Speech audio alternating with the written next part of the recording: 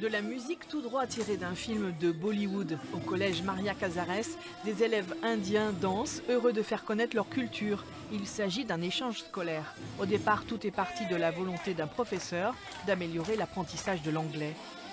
Nous avons toujours échangé des lettres avec les écoles aux États-Unis et en Grande-Bretagne et ailleurs, mais c'est surtout euh, avec les Indiens qu'il y a un rapport qui s'est installé entre les élèves, la volonté de partager, de comprendre, euh, une ouverture d'esprit. Et donc euh, c'est avec les Indiens que nous avons finalement construit le projet. Les collégiens ont été invités à participer à un atelier Danse Bollywood, un amalgame de Bombay et de Hollywood. L'initiation n'est pas facile. En les regardant danser, on a l'impression que c'est vraiment super euh, simple, mais au final, euh, c'est assez compliqué. À leur tour, les collégiens ont appris leur danse de la Zumba aux élèves de New Delhi. Hébergés dans les familles, les jeunes Indiens commencent à percevoir les différences culturelles.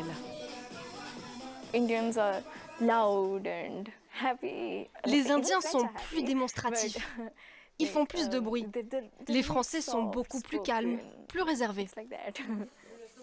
Pour les responsables indiens, il est important de se rencontrer pour se comprendre. La plupart des problèmes dans le monde aujourd'hui, ce sont à cause de ne comprendre pas l'autre culture. Et avec l'échange, c'est notre but de transformer les étudiants euh, en citoyens globaux. Ensemble, les jeunes ont joué au cricket, une tradition si populaire en Inde. À leur tour, des collégiens sont invités à se rendre à New Delhi en avril prochain.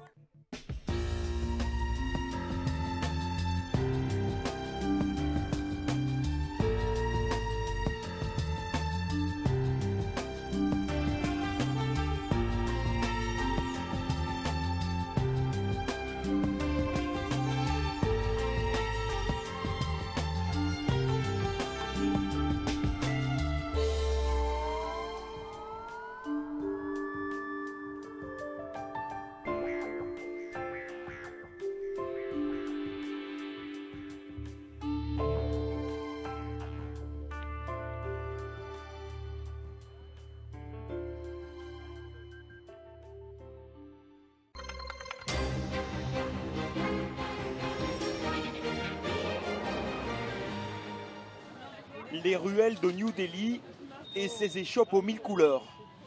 C'est le premier contact avec l'Inde pour ces jeunes collégiens, tout droit débarqués de la banlieue lyonnaise. Il y a d'abord l'émerveillement, bien sûr, avec les tenues traditionnelles. Là-bas, il y a des saris, non Là-bas, là. Oui, des saris et des bijoux avec des statues. Mais très vite, c'est le choc culturel aussi, face à une ville bondée, jonchée d'ordures. Il est où le masque Ici, la misère est omniprésente. Pour Maëlys, 14 ans, l'atterrissage est difficile. On peut pas s'attendre à ça, je pense. Personne ne peut imaginer ça. Issu d'une zone d'éducation prioritaire, 1, 2, 3, 4. ces 10 élèves n'avaient jamais encore quitté la France. Pendant 14 jours, ils vont ainsi découvrir un tout autre monde, remettre en question leurs certitudes. Vous voyez la carte ici? Nous sommes ici maintenant. À l'origine de ce voyage, il y a une rencontre.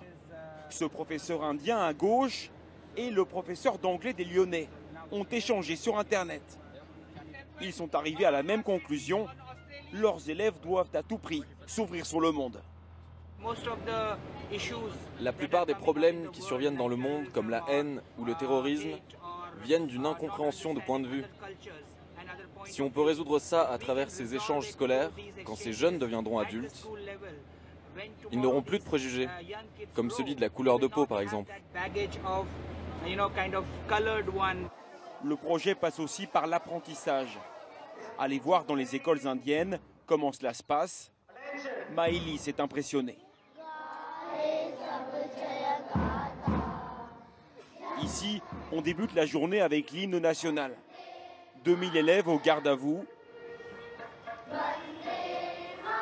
Uniforme et rang impeccable. Un monde de différence avec leur collège de banlieue. J'aimerais bien avoir l'uniforme. J'aime bien. Tout le monde est habillé pareil, donc il n'y a plus de différence euh, entre les gens. Euh, on n'a pas d'uniforme, mais euh, si j'aimerais avoir un uniforme aussi en France. Le soir, c'est encore un autre visage du pays que Maëlys et Shaima découvrent. Celui de la classe moyenne, de plus en plus présente en Inde. Chez Nikita Pans, leur correspondante indienne, l'appartement est moderne. Mais les traditions subsistent. Trois générations cohabitent. Nikita, sa mère, sa grand-mère, son grand-père, enfin, genre, toute la famille. Chez moi, il y a juste ma mère quoi, et, et nous. Donc, euh, ça, fait, ça, fait, ça fait bizarre un petit peu, mais c'est accueillant, j'aime bien. C'est la tradition. C'est comme ça que ça se passe en Inde. C'est partout comme ça. Et pour terminer, un voyage au pays de Gandhi passe toujours par lui. Le Taj Mahal, légendaire mausolée de marbre blanc. Endroit idéal pour immortaliser l'instant et pour tirer les leçons de cette aventure. En fait, on prend conscience que, de la chance qu'on a, nous, de vivre en France, avec tout ce qu'on a, et, euh, et de me dire euh, que j'ai quand même de la chance de voyager. Le voyage était financé par des fonds publics et privés. Les élèves n'ont payé que 270 euros chacun. Un projet pédagogique unique en France pour façonner des citoyens du monde.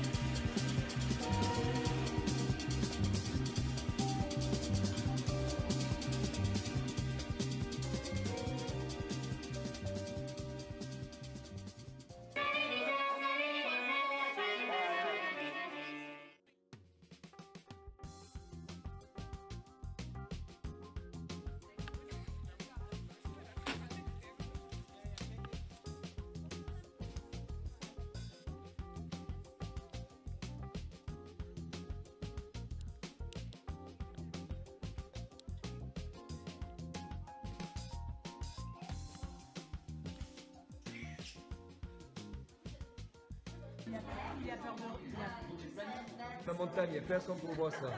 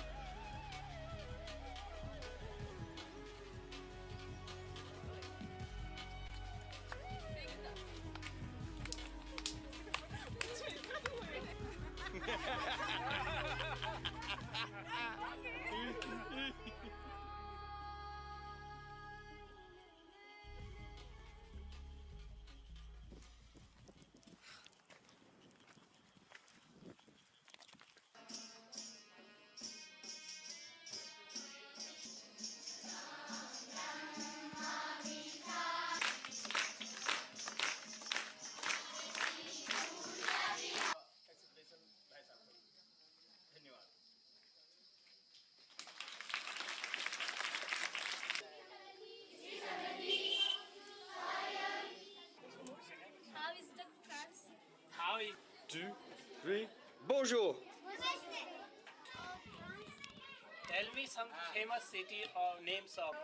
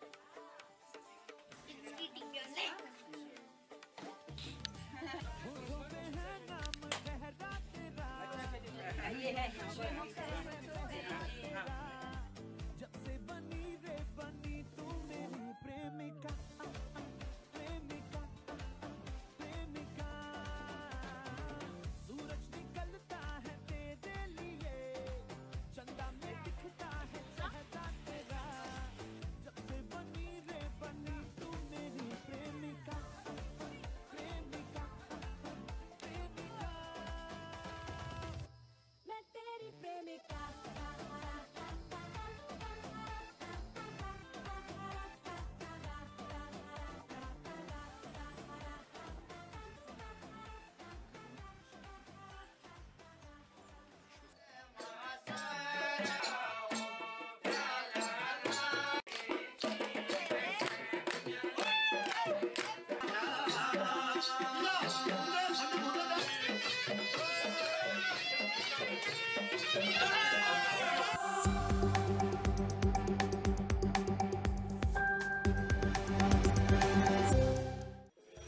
Après 14 jours passés en Inde, les élèves du collège Maria Casares à Rieux-la-Pape présentent leurs vidéos souvenirs à leurs copains de 6e. Un vrai choc culturel.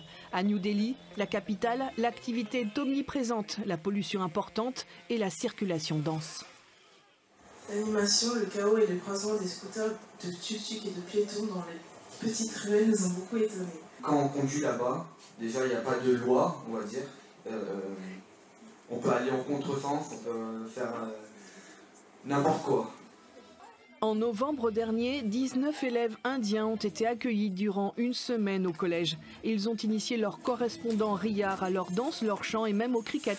En Inde, les adolescents français ont été reçus par les familles indiennes. Cette aventure, ils la partagent en images avec les élèves restés ici. Eux, ils sont déjà séduits. Je pensais que dans les films, ils abusaient, c'était pas vrai que c'était, si joyeux comme ça, mais en fait, euh, si, c'était comme dans les films, ils, étaient, ils dansaient, ils étaient joyeux. Au départ, ce n'était qu'un banal échange scolaire pour donner du sens au travail des élèves en langue étrangère. Mais sur place, c'est tout un système scolaire différent qu'ils ont découvert. Être capable de travailler tous ensemble, même dans des classes très très nombreuses là-bas, à plus de 40 élèves, et être capable de faire des projets, d'être capable de le, présenter devant un groupe, devant un public, euh, tout ça c'est des choses qu'ils ont appris là-bas. Là-bas c'est tout très strict par rapport à ici. Euh, tout est carré, ça bouge pas. Il n'y en a pas un qui fait une bêtise. On voit vraiment la différence par rapport à ça, parce qu'ici, quelquefois, il y en a qui sont un peu agités. Grâce à des partenariats publics et privés, le voyage a pu être en partie financé. Aujourd'hui, l'équipe pédagogique s'engage à pérenniser cet échange. Ils ont programmé un prochain séjour en 2020.